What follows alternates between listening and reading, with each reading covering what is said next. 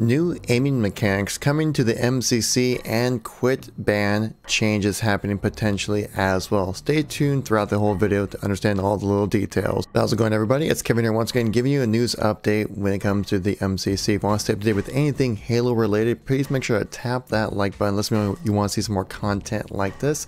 Leave a comment down below what you thought about the video or what you think your aiming mechanic changes and quit ban changes could help out in the MCC. If you're new to the channel, want to stay up to date with anything Halo related, stay subscribed or hit the bell for notifications and let's get right into the video here. Has the player base fought back the flood infection on the MCC? Well, that's one thing we'll figure out with the December update coming for the MCC. We don't know exactly when it will happen. My guess will be sometime of the week of the 17th through the 21st as that's the last week right before the Christmas holiday where I'm sure a lot of people will be taking a time off. So sometime around there I'm guessing is when this December update will come out for everyone to enjoy. Recently in the Halo Waypoint update, Unyshek mentions a little bit thing about how the, as we all know, the MCC uh, menu was taken over by the flood, right? So there's a little bit visual difference. I love the visual difference when it comes to uh, the MCC now.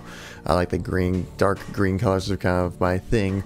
Um, but apparently, what there's a th thing going on saying that if you play the flooded playlist, which was a new playlist brought to the uh, campaign playlist on the November update between like was the 16th through the 30th if you completed that playlist, something's going to happen. We don't know what. It's going to be a mystery. I'm hoping for like a nameplate or something like that. But apparently, according to this uh, waypoint update here by Unyshek, players have continued to fight in the flooded playlist to help regain control and repeal the hostile invaders good news is that we're on track to finish the, this fight and if successful we should see the MCC menu reflect the outcome in the patch. So maybe just a different visual difference on the menu. That'd be kind of cool. I would like to get like a little bit of something showing like, hey, I did bother to play this. You know, kind of like how we did with the infection nameplate back in October. I was, I was kind of hoping for. But we'll see what happens there. But a big thing that's going to be happening it's going to be giving us an option in MCC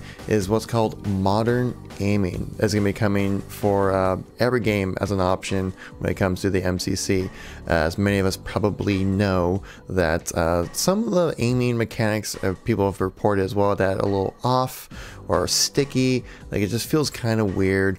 Uh, I would definitely say that for uh, CE, like the aiming and the movements just feel really weird and the inputs are just really off and like there's like almost like an input delay, especially with the uh, CE on the M on MCC, and also Halo 3 feels a little bit off as well, and also Halo 2. It's kind of like something's different. Uh, maybe Halo 2 feels pretty good, I would say, though, but uh, for especially Halo 3 and for CE, uh, what uh, the MCC team is looking to do is add in modern aiming, which is essentially giving you the option to switch to the inputs that uh, Halo 4 and Halo 2 Anniversary have, which is a huge change to the aiming mechanics in the game. I'm wondering if that will mess with like how people aim in the game because like it's very different. It's minute, but it's definitely there, and I'm actually kind of looking forward to this because uh, that's one thing Halo 4 does really well in that engine. Also, uh, Halo 2 Anniversary is that the uh, aiming mechanics are so just sharp, on point. You feel very much in control. It feels very good to shoot guns and move around using those inputs.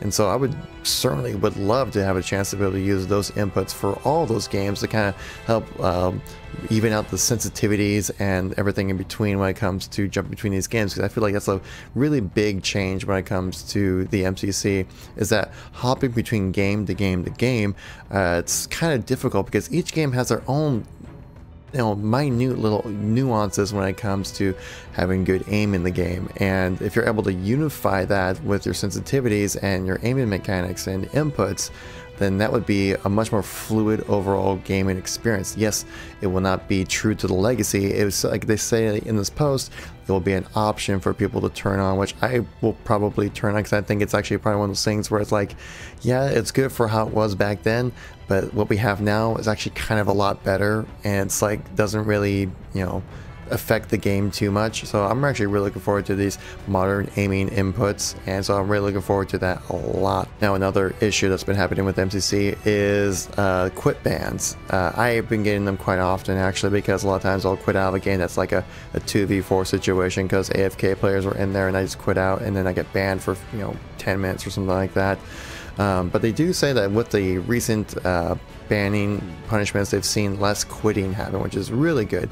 I'd much rather have like a good way it is now where than it was before with no banning situation happening so then uh, people just quit out if they don't like the game which trust me people do a lot. They even report saying a 50% reduction global reduction in quits which is really good. You can see uh, play times have been improved so people are staying in their games and playing them. Though the team is looking into having some more forgiving situations when it comes to these quit bans like obviously if you have a teammates that quit out and seeing maybe like you know you get some forgiveness for quitting out of that game or maybe like a lesser ban kind of thing. I think that's what happened to me actually recently because I recently had a stream the other night and I you know was in a 2v4 situation. I get some sweats in Halo 2. I was like, dude, I'm just gonna back out. I know I'll play this. Then I got a little slap on the wrist for five minutes, so it's kind of worth it, I guess. But um, you know, it's it's whatever. I think it's a rather good thing to have these bans to be rather strict because you want to make sure that people stay in these games and not just quit because